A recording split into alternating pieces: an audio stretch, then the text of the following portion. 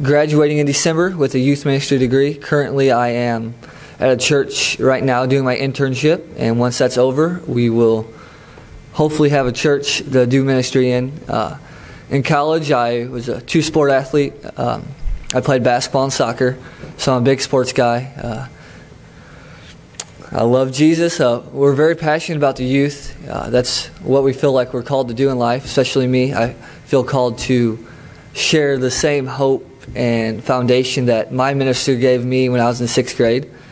That and share that with the youth. Uh, a short story, I guess my short life story is I was born uh, two parents who weren't together.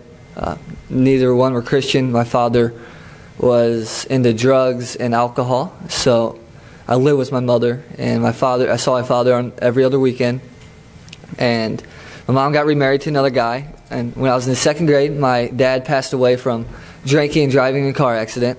So I was mad and angry for a really long time. Then my new stepdad ended up being abusive to my mother and uh, cheated on her and hit my sister, and it was just a mess. So again, mad. We were very, very poor growing up because of that.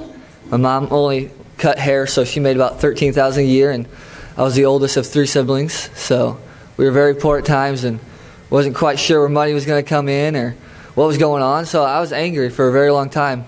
And then in sixth grade, my uh, basketball coach happened to be a youth minister, which was kind of annoying at the time because he always asked us to go to church. But it, was pretty annoying. But eventually, he kept bothering us so much that me and a couple of guys went, and I haven't left since. Uh, you know, I was baptized later, and then high school came along, and I decided to give my life to Christ. So I've been through a lot in life and seen the ups and downs of life, and we're just excited to.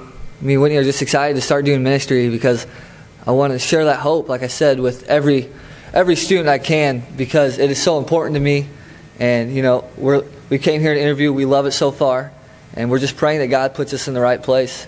So I don't know what else you want to know about me. Uh, Big Ten all the way. Sorry, SEC fans, but uh, I, I, know we're not as good. But no matter where I am, I'll stay loyal to Purdue. So boiler up, and uh, hopefully we have a good service. God bless.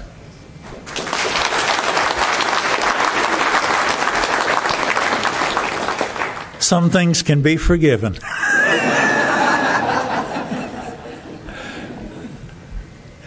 Thank you, choir. Thank you, Peyton. Thank you, Miss Jane. We really appreciate it. It's very good and just happy to have you back. Really are. And at this time, we're going to dismiss, dismiss the kids uh, to their classes.